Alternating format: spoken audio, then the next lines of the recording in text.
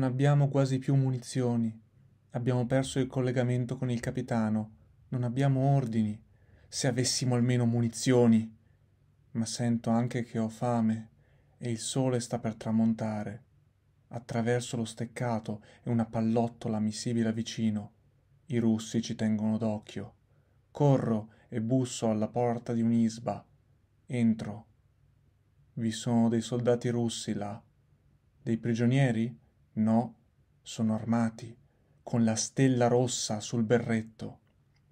Io ho in mano il fucile. Li guardo impietrito. Essi stanno mangiando attorno alla tavola, prendono il cibo con il cucchiaio di legno da una zuppiera comune e mi guardano con i cucchiai sospesi a mezz'aria.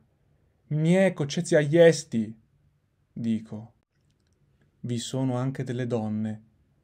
Una prende un piatto, lo riempie di latte e miglio, con un mestolo, dalla zuppiera di tutti, e me lo porge. Io faccio un passo avanti, mi metto il fucile in spalla e mangio. Il tempo non esiste più.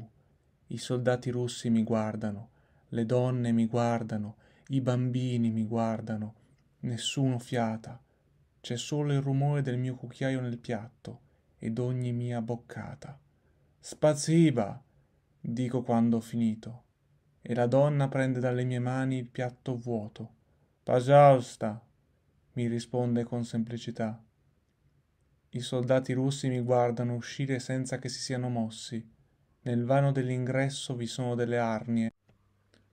La donna che mi ha dato la minestra è venuta con me come per aprirmi la porta e io le chiedo a gesti di darmi un favo di miele per i miei compagni. La donna mi dà il favo e io esco. Così è successo questo fatto.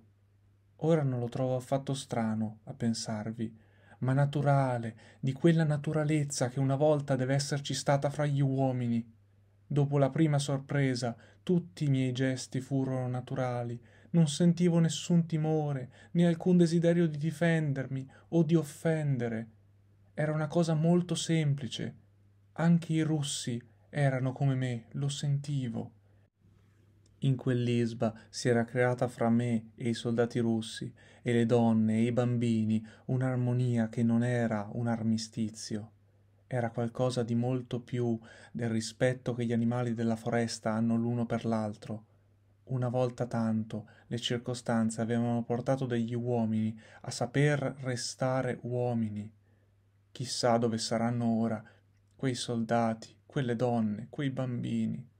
Io spero che la guerra li abbia risparmiati tutti.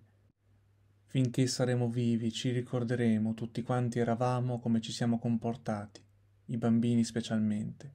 Se questo è successo una volta, potrà tornare a succedere. Potrà succedere, voglio dire, a innumerevoli altri uomini e diventare un costume, un modo di vivere.